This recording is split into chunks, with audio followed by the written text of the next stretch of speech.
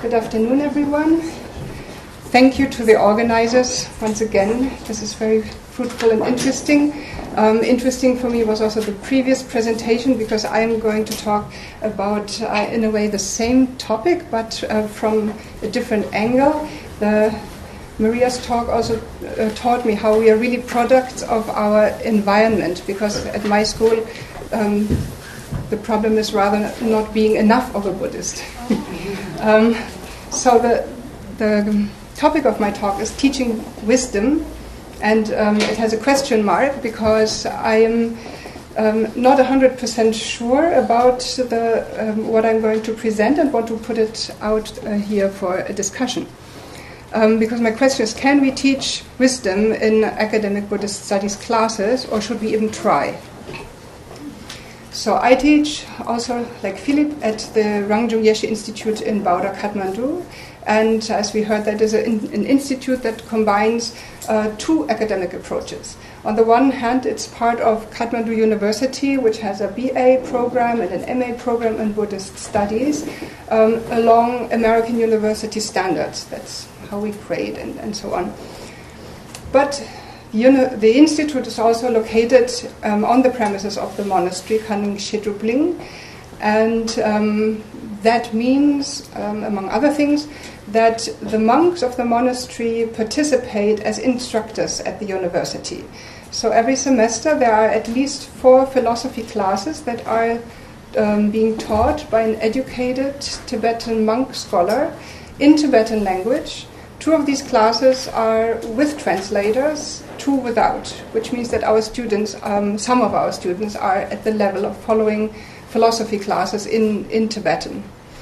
Um, these classes by the Tibetan monks, they are um, taught according to Tibetan pedagogical uh, models.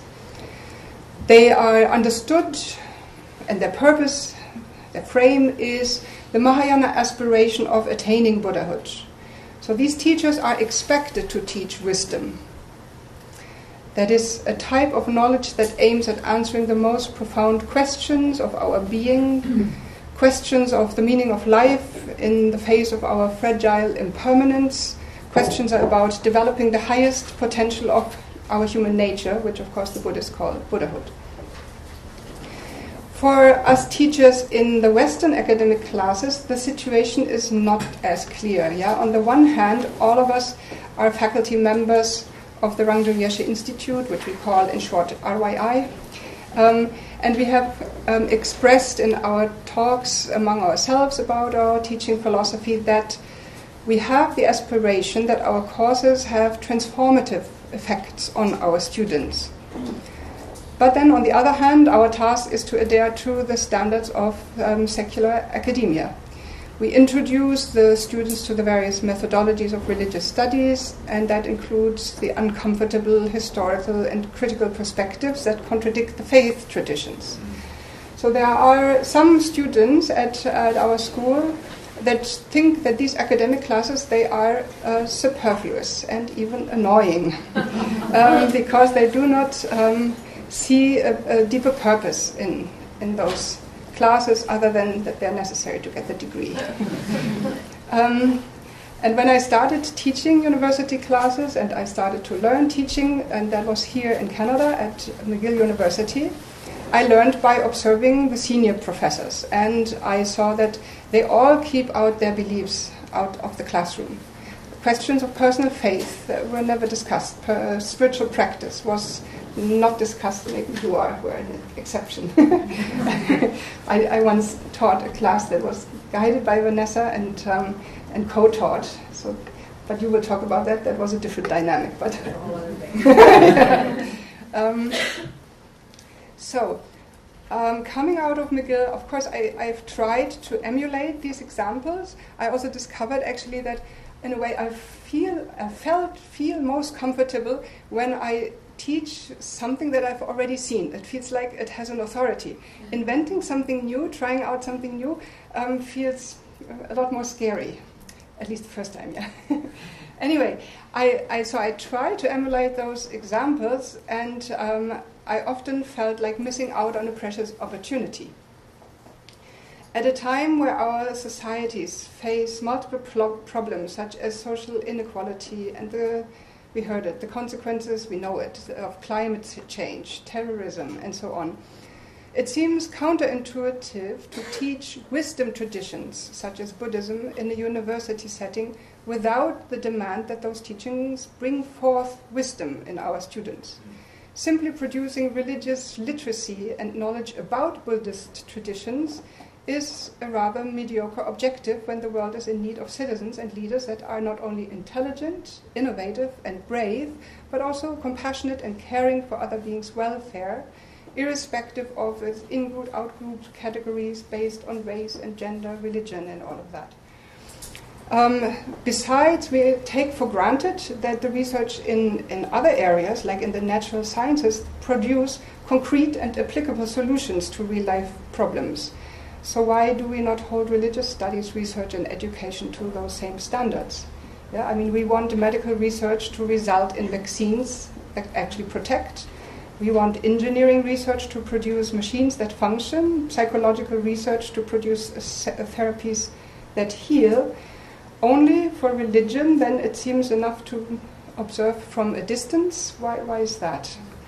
I mean, you could argue, of course, that um, that part has to be done in theological seminars. Um, but in Buddhism, so far, we don't have those here, at least. Anyway, um, so many students enroll um, at the Rangjung Yeshe Institute, we heard it already, with this expectation to find keys for answering fundamental questions about the meaning and purpose of life. And yet, the academic classroom is supposed to be kind of a closed secular space, strictly avoiding religious practice and experience. But then, how do we address the students' expectation to receive transformative knowledge at the university while um, preserving the standards of, of secular academia. Um, so, in other words, um, if we, if, if, I want to explore how to um, how to teach wisdom, then of course my first question is, what do we mean by wisdom? What wisdom are we talking about? Throughout history, wisdom has been contemplated by philosophers, theologians, meditation masters um, all along human history. In recent years, wisdom has been scientifically researched in the field of psychology, and apparently that much more than in the departments of philosophy or religious studies. So there are researchers that came out, um, for example, um, the psychologist German psychologist Paul Baltes, um, founder of the Wisdom Project at the Max Planck Institute for Human Development, um, or the American sociologist Monica Ardelt, they came up with some working definitions of wisdom. So, Paul Baltes, for example, defines wisdom as the knowledge and behavior that reflects a high degree of the human condition, deep insight into the priorities of life, as well as the ways by which to live a good life. He says a wise person is able to integrate and coordinate the intellectual, the emotional, the motivational, and the interpersonal dimensions of life, and to do this in a way that the welfare of humankind is the primary criterion. Yeah? The welfare of humankind is, is the consequence aimed at. So while Paul Baltes' explanation has more as outcome um, of our decisions in his definition. Monica Ardelt, professor of sociology at the University of Florida, defines wisdom as a personality characteristic. Hmm. A person is wise if she has certain cognitive, reflective, and affective qualities. So, in these definitions, we can see that all has to do with practical life skills, with personal growth. Um, wisdom is developmental, takes time, takes guidance and experience. And while I think that it's certainly desirable to teach our students to behave wisely in life, um, these definitions here that I gave are actually not what Buddhist masters have in mind when talking about wisdom. Important uh, Tibetan teachers, important for our school at Rangjung Yeshe at least, um, like Dzongsar Khyentse Rinpoche or Chökyi Nyima Rinpoche, that is the spiritual head of Ka-Nying Shedrub Ling, and also of the um, University, of, of our Buddhist Studies department, they emphasize that the crucial aspect that distinguishes Buddhism from all other wisdom traditions is the philosophy of no self and emptiness. During a recent visit that uh, Dzongsar Khyentse Rinpoche um, gave to the Rangjung Yeshe Institute, he emphasized that the one thing that differentiates Buddhist philosophy from all other wisdom traditions is the wisdom of no self, emptiness and non duality. And he told the students that is what you have to learn. Chökyi Nyima Rinpoche, he regularly refers to the ideal um, of what, to, to an ideal coming out of the studies, is the scholar practitioner. And that is a person, as he defines it, uh, a person who embodies karuna shunyata, that means compassion and the realization of wisdom. So, this is a different approach. Yeah? What do we do with this wisdom of uh, no self and emptiness? In, in the light of that, then uh, these Tibetan teachers and others, of course, then they criticize this recent secularization frenzy of Buddhist meditation practices, um, as we have discussed this, this morning, um, that uh, bracket exactly this important point of Buddhist philosophy, which is no self, um, emptiness, and non duality. I'm kind of putting them together. They overlap. Of course, the subtleties are different. Um, actually, this, uh, these topics were um, what initially attracted me to Buddhism because I, it, I was just so puzzled by it. Yeah, it didn't make sense. It triggered my curiosity. So the question um, that I raised was whether the academic classes that I was teaching, that I am still teaching, could contribute in any way to an understanding of no self and emptiness. And my reflections brought me to the idea that, of course, besides teaching the reflections, the logic of Nagarjuna, that um, also explains, that is the traditional explanation of how we understand um, emptiness and um, the teachings of other philosophers my reflections brought me um, to a possible approach to no self through patterns of pedagogy. And um, in order to explain what I mean with that, I want to talk a little bit about the summer course that we have at the Rangjung Yeshe Institute.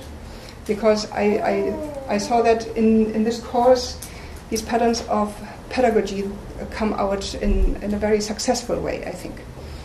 So, this um, uh, summer course um, is a two month course that consists of three classes that run in parallel for six weeks, namely a traditional class taught by a Tibetan scholar on the topic of Buddhist philosophy, philosophy and ethics, and so on. That is one. The second is an academic class that contextualizes and contributes critical views on the Buddhist intellectual history.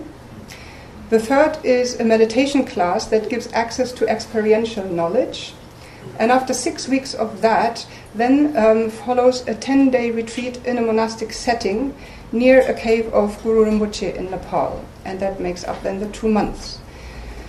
The, the course design has been successfully Im- implemented for many years at the Kathmandu University Center of Buddhist Studies. I only came into it last year to teach it for the first time. It is very successful in that it creates an environment in which students constantly alternate between uh, different poles, between the traditional Tibetan Buddhist and the Western um, academic scholarship poles, between cognitive learning and contemplative learning, between um, theoretical and embodied applications of learned insight.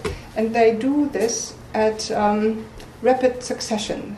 They're exposed to all these different styles, uh, one after the other. And that, I think, I could, I could see that, has an important impact on the learning experience of the students. So, in one and the same morning, students may be exposed to the idea that, um, on the one hand, sutras are the words of the Buddha. Then they hear about Johannes Bronkhorst's thesis that sutras cannot have been written by or spoken by the Buddha, nor even by his close followers. But then they learn um, meditation techniques that are based on these sutras. or when it comes to uh, Vajrayana, then they learn that the, these wrathful expressions of Buddhahood, that they might be the product of um, societal and cultural situation in the 6th century of India. Um, that it was actually royal funding by warring kings who desired strong protection um, that influenced the, de- the, evolution of Buddhism in the way of bringing out these tantric uh, forms of meditation with uh, wrathful deities and so on. Um, they, they learned that uh, Tantra overthrows the monastic ideas of renunciation, but is the quickest path to Buddhahood. When it comes to Mahayana uh, teachings, they learn compassion is the core of Mahayana. Then, in the academic class, they learn that the secularization of compassion training that is happening right now in North America actually was unknowingly prepared by Tibetan Buddhist masters of the 13th century by their very important um, innovations in compassion meditation and mind training. So students get introduced to the interdependence between all these different aspects um, of Buddhist history. And, well, they come with, uh, for the most part, very sincere aspirations um, to learn about that, and many of them um, are puzzled by all these contradictions. Some even are put into something like an existential crisis. Um, so we had uh, students ordained, we have ordained students in our classes.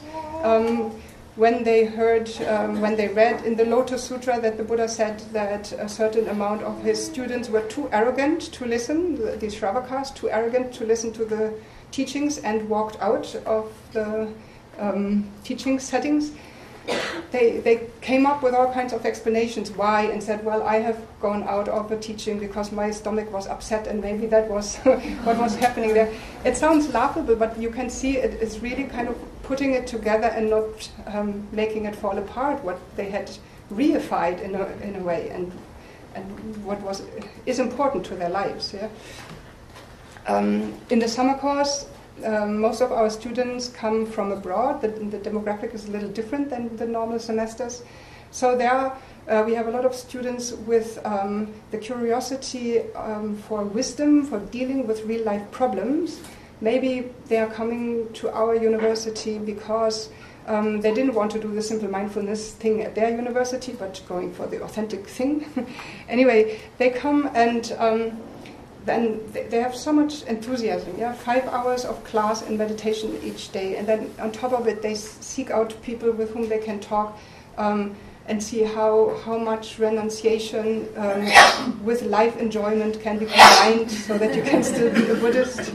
And, and they're really um, um, grappling with the possibilities that the Buddhist path offers. Um, there was one student who, who had been very successful in business, but then had at early age um, experienced sudden failure, and so um, he came to the Buddhist classes with really um, li- real life questions to him that he wanted to have answered. Some students um, come out and are disappointed. They say this is relativism. Yeah, anything these Buddhists say anything in the opposite. So everything seems to be right, and I was looking for, for you know, answers. so, in these situations, I don't see my role um, as somebody to relieve the students of their feeling of discomfort and uncertainty, but um, to accompany them to this uh, through this process of losing ground. And in the summer course, I thought this was particularly successful uh, setup for this dynamic because there was no escape from the dynamic of learning, questioning, introspection. Um, and as I said, through, through this um, rapid succession between these different standpoints, there was no way of holding on to any of those. So um, you might think that, anyway, this is what you're doing already in your class. I want to uh, then come to a second aspect that I think is important, which is that we have to point out that this is happening um, in order to um, use this confusing information. And for that, I learned from another professor, John Makransky, who came to our university to teach um, secular compassion training. And I noticed that he um, applied the same idea.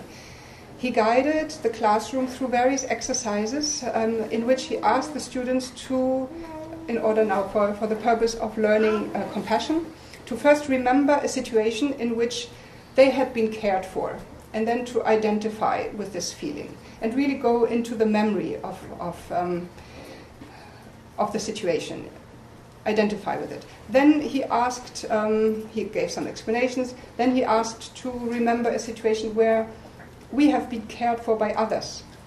And again, identify and embody that feeling. Then he asked um, to pay attention to different kind of thoughts and memories that came up while trying to relive these moments and said, um, was there um, fear? Did you feel annoyed? And each of these mind states he pointed out as being different selves in what we think is one personal self. And by that, he, he introduced um, the students to this idea that um, we cannot find one solid permanent self. And we have all heard about this, but the way he did it, um, by really um, making it a con- contemplative exercise um, with an embodied emotional feeling, um, I think opened some doors in the, the audience to get um, a personal experience of what could be meant by this abstract idea of no self. And in a way, we could say it is a low level approach to no self and emptiness that goes much further. But um, I do think it is an interesting um, entryway of making sense of that. So, as a as a conclusion, um, I want to come back to that initial question that I had of teaching academic Buddhist studies classes in a way that enhances the student's wisdom, especially this wisdom of no self put forward in, in Buddhism. And um, what I suggested is um, that by paying attention to the patterns of pedagogy, um, in certain ways we can apply a principle of no self rather than teaching it theoretically, or maybe in addition to teaching it theoretically if the topic of our class is Buddhist philosophy. And the second point is, of course, this in, incorporation of periods of introspection as a means to point students to the dynamics of this pedagogy. Um, that helps to uh, students to learn inhabit opposite sides of the polarity, which I think is a very important point because it questions um, our way of thinking, the students' way of thinking, um, of categorizing the world into um, poles of self and other, good and bad, sacred and profane, in group and out group, and so on. It is like um, the basis and the stepping stone to talk about bias, um, bias of which um, nobody really can escape. There's an, an interesting study by Harvard University. There they also have um, opened up uh, a website where we can test our bias um, by doing little exercises and um, hopefully finding out that the, the biases of which we think we are free, that actually they are deep seated. Yeah? So um, these are um, important discoveries because, um, as we've heard from, from Buddhism or own experience and reflection, bias is at the um, at the root of aggression, um, at the root of wrong views. So these are important things that can, can and should be learned also in Buddhist studies classes. And um, with this, I want to open it up for a discussion, what you think about it, and maybe you have um, experienced and tried out similar um, techniques or reflections in your own classes. Thank you.